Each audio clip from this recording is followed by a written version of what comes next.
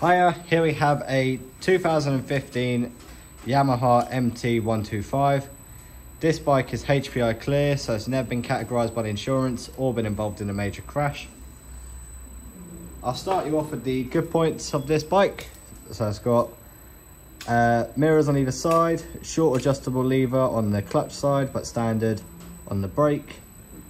Standard indicators, does have the rear pillion seat and foot pegs, but obviously if you're on L plates, you cannot have uh, passengers. Chain sprocket is in good condition, still got a bit of life left in it, and the rear tyre has some decent tread on it, so it's in good condition. The brake disc and pads on the rear are in good condition as well.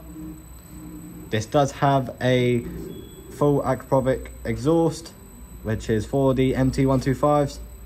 It's a nice exhaust, sounds really nice. Front tyre is in good condition. Same with the brake disc and pads. And this is an ABS model bike. Forks on this are very clean. Got a couple of minor marks here and there.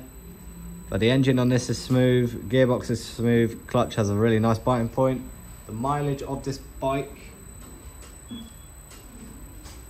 is around is uh, 18,000 miles on the clock.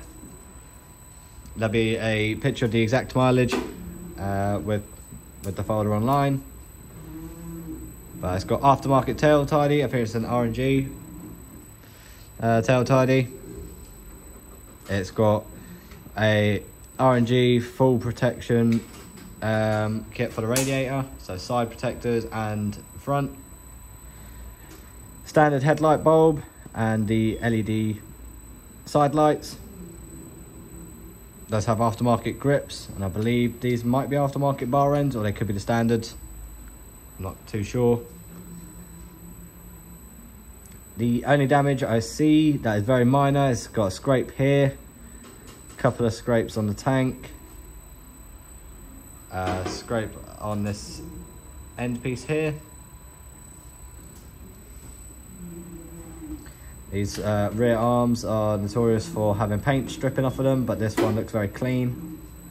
This side looks quite clean. It's got a tiny little chip there and a little mark there.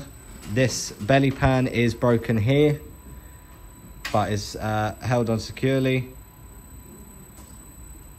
And I believe they are not too expensive uh, to buy. Um, if you wanted to have the, the whole fairing set underneath. A lot of people like to remove them. All in all, it's a very clean bike, ready to go. Everything works as it should.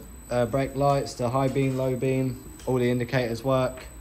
But yeah, that'll be everything for this 2015 Yamaha MT125. Thank you.